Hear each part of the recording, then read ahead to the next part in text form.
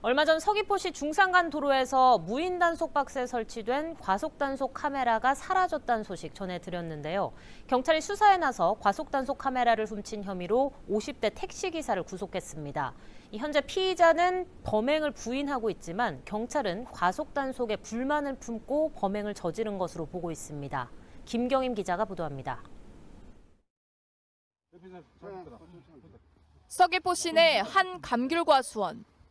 경찰이 땅을 파헤치자 흙이 잔뜩 묻은 삼각대가 발견됩니다.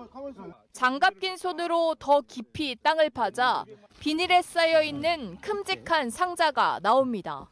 상자 안에는 과속 단속 카메라와 보조 배터리 등이 담겨 있습니다. 지난 13일 도난 신고가 접수된 자치경찰 과속 단속 카메라입니다. 그 카메라 카메라 카메라야? 네. 카메라 네, 카메라 여기 나왔어 여기 나와요 카메라가 자치경찰이 설치한 과속 단속 카메라를 훔쳐 달아난 50대 택시기사가 경찰에 붙잡혔습니다. 단속 카메라가 사라진 건 지난 12일 저녁 7시 40분에서 13일 오전 9시 30분 사이. 경찰에 따르면 택시기사인 A씨는 서귀포시 색달동 중산간도로에서 무인 단속 박스 안에 있던 과속 단속 카메라와 삼각대 등 2,900여만 원 상당을 훔쳐 달아난 혐의를 받고 있습니다.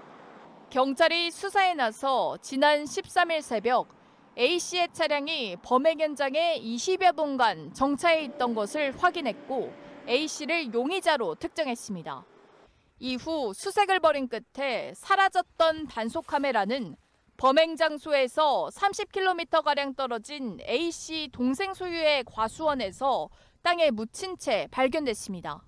도난 신고가 접수된 지 일주일 만입니다.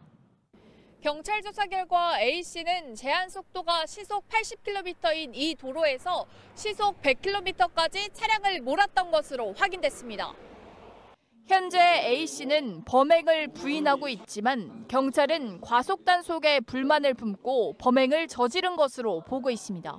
용의 차량을 운행한 타코메타의 이동 경로를 파악하여 그중 제일 많이 정차한 지점에 피해품을 버릴 가능성, 숨길 가능성, 땅 파묻을 가능성을 염두에 두고 두 군데에서 많이 머물러 있는 지점을 발견하게 되어 전 형사를 투입 그 부근을 수색하던 중 한편 제주도 자치경찰단은 이번 절도 사건으로 무인 단속 부스에 이중 잠금 장치를 설치하는 등 보안을 강화했다고 밝혔습니다.